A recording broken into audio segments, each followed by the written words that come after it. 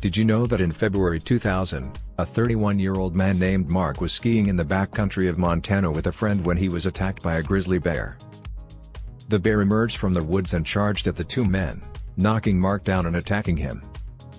The bear bit and clawed at Mark's head and neck, causing serious injuries. His friend was able to use his ski pole to fend off the bear and eventually scare it away. Mark was airlifted to a hospital, where he underwent surgery and received treatment for his wounds. Despite the severity of his injuries, he survived the attack and eventually returned to